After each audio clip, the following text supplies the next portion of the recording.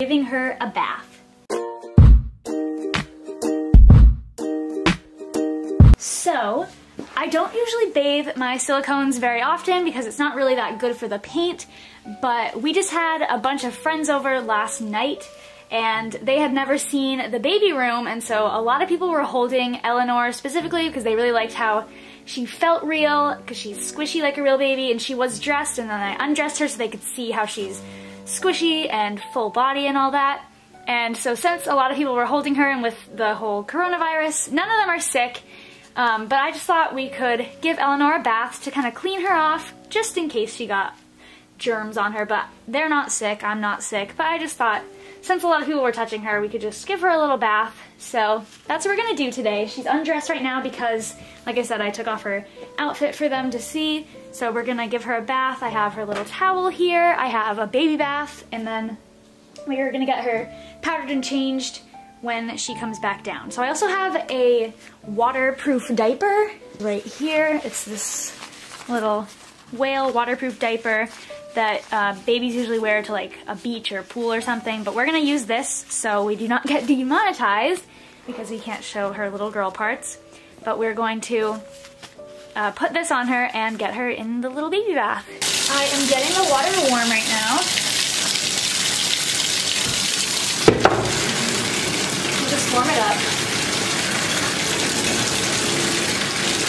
Alright, so we are gonna put her in. We're just gonna put her like this. And I have a little washcloth so we can wipe her up. This one has a little ducky on it. Alright, so I'm just gonna give her a little rinse.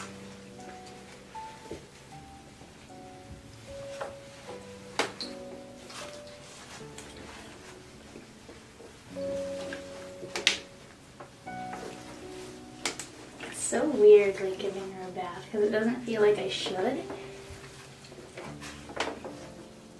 But she's allowed to be wet.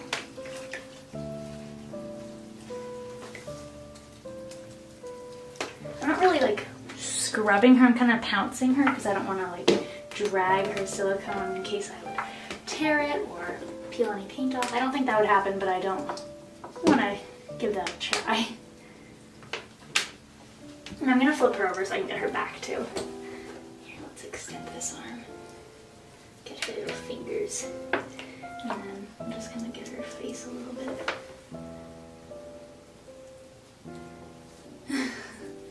I just don't want to get it in her mouth because that's kind of harder to get out. I think I'm gonna do this. I'll get her hair a little bit. Like this. I do wet her hair with a spray bottle so I don't really mind getting it wet.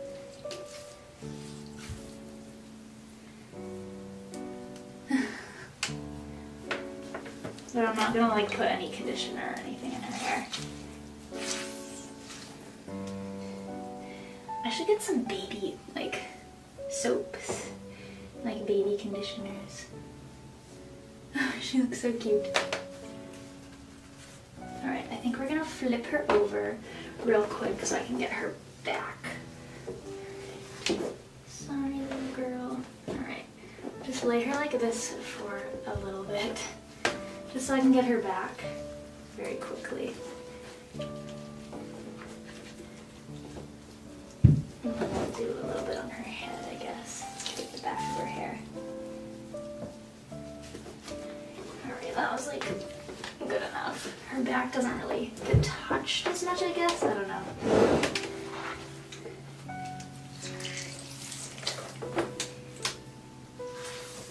Get her little hair. Yeah, it doesn't take long to bathe her because I really just got to get her cleaned off. I don't use soap on her or anything. Just water. Now she's all rinsed off and she's gonna be all nice and clean. So we're actually gonna get her out. I have her towel real quick. And normally I would like uh, go off camera and clean underneath her diaper, but like she's not really dirty. I don't think she needs it. I don't know. I'm just gonna like grab her out. She feels so weird. Alright, I'm gonna grab her out.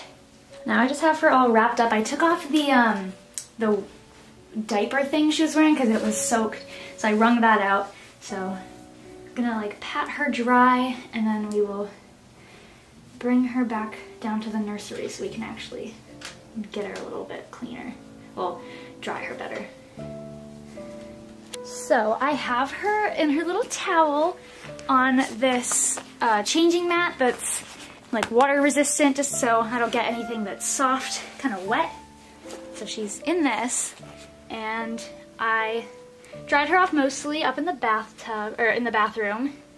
And then I have, um, her hair's still wet, but I have these little cotton swabs because I'm gonna get like in her nose and her mouth and her ears and like just some creases to make sure there's no water.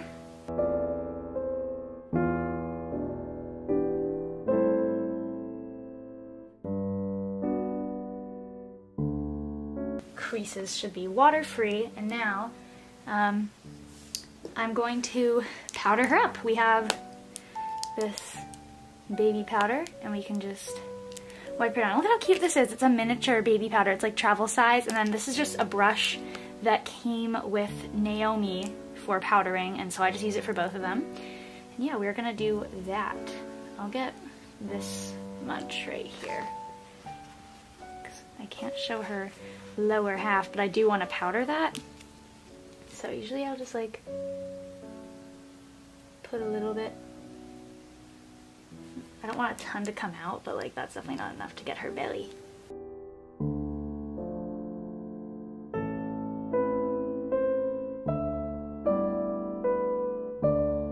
You know what? I can just edit a heart over her body.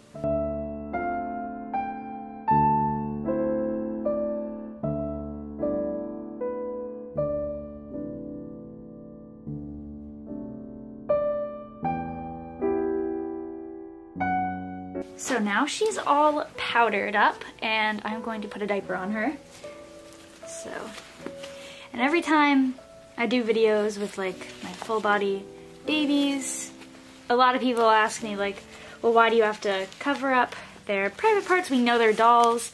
Um, I know they're dolls, you guys know they're dolls, but it is still like considered, I guess, child pornography, so we can't show that. So yeah, we just have to cover her up. And I don't know why some people just get so upset that I cover it because like, I don't know.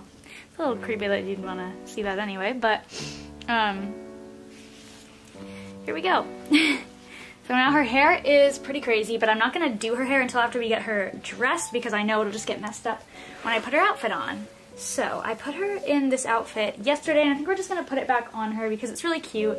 And I had put this on her with the intention of maybe bringing her out and so, um, yeah, I might do that. I want to take her on an outing. It's a really cute outfit. So this sleeper is from Next. And, oh my gosh, the sleeves are flipped inside out. So it's really colorful and it has all these little animals and stuff on it. Apples, rainbows, really cute. So we have that. And then I put this little um, sweater from the Baby Gap with that. And then I have these little pink scratch mittens a pink pacifier, and a yellow headband. So she's all bundled up when she wears this outfit. Let's see.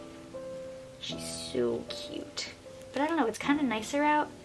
But if I took her out, I'd probably take her out a little bit later on in the day. I don't know, I feel like I'm more comfortable taking a baby out when it's kind of later. So it's not positive that I will take her out, but if I do, it would be later on. And if I do take a take her out, I would do a video and that would be posted at a later date. Oh, this is my little um, tips and tricks for you guys. If you have silicone babies or just even partial silicones, if you put little scratch mittens or socks over their hands and feet when you put their long sleeve or just any clothes on, it keeps all their fingers together and like all their toes together um, if they have separated fingers and toes. But like most of her fingers are together, especially on this hand. I think they're all together. On this one, her thumb is separate, but I just do that just to make sure they all get through it. I really like this hack for Naomi because um, she has all separate fingers and toes. So, or mostly, I know at least on one of her hands, all of the, all of her fingers are open, and I think on her other hand a couple of the fingers are separate, and then I think on one foot all of her toes are together, on the other foot they're all separate. So it's just really nice for Naomi especially, that you just put it on because then it keeps all the little thingies and stuff together so they all make it through and none of them get stuck or like pulled because that could tear them. Here we go. This looks so cute. I like how colorful this is. It's like nice and springy, but it's still keeping her bundled up. There we go. So cute. Aw, she looks so sweet. And then we're gonna put the little sweater on right on top. Oh, usually I start with the other sleeve. I don't know why I did that. Here we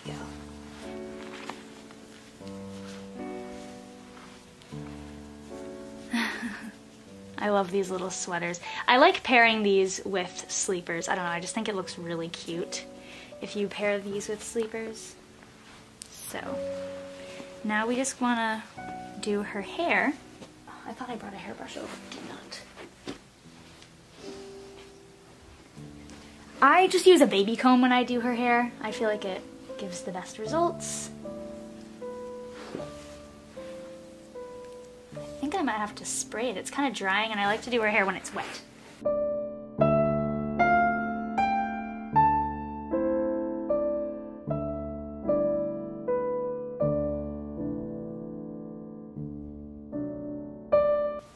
So cute. And then it'll dry down a little bit lighter and she'll have some fluffy hair. She's kind of got like a little alfalfa curl at the top right there. There we go. Oh, she looks so sweet. And then I have this little pacifier for her. And she can take that whole thing really well. Now her forehead's wet. Let's see. Ooh, sorry. Just pat her dry a little bit. There we go. So now Eleanor is all changed. Here we can take the towel out from under her. And now it's just a changing mat. This is supposed to like strap them in. These little straps. And you can go like this, except I don't. we don't need her strapped. Oh no, now I can't undo it. There we go. Nails. so, Eleanor is all clean, she's all changed, she's powdered, everything. She's so fresh feeling. So, Thank you guys so much for watching this video. Please make sure to like and subscribe. Make sure to wash your hands and stay safe from the coronavirus. Uh, my school is off for two weeks right now because of coronavirus. So I've got a lot of time, so I'll probably be making a lot of videos, which is a good thing. So if you don't want to miss any of them, make sure you subscribe and also follow my Instagram at Kelli Maple and at Kelli or at Kelli Maple YT and at Little Mouse Nursery because I'll definitely be posting there and yeah, so I have a lot of time to be making babies and to make videos. So yeah, and if I do a video with Eleanor, you guys will see it. Um, it'll probably be the next video posted after this one if I do take her out. But yeah, thank you guys so much for watching, and we'll see you later. Bye!